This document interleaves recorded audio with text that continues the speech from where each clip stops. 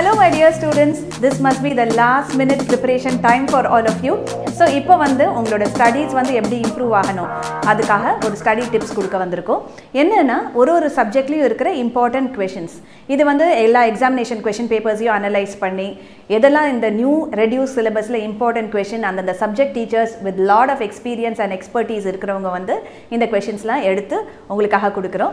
So இந்த questions வந்து make sure that you know them thoroughly இது தவிர கூட நீங்கள் எல்லாம் படிக்கலாம். ஆனால் இந்த கொஷின்ஸ் வந்து நீங்கள் நல்லா படிச்சிங்கன்னா உங்களோட ஸ்கோர்ஸ் வந்து will be very good good scores and you will be able to achieve the centem or more marks that you are aiming for. So what are we waiting for? இப்போ இருக்கிற questions-லாம் go through all that and நல்லா படிச்சுக்கோங்க எக்ஸாம்ஸில் நல்லா பண்ணுங்க all the best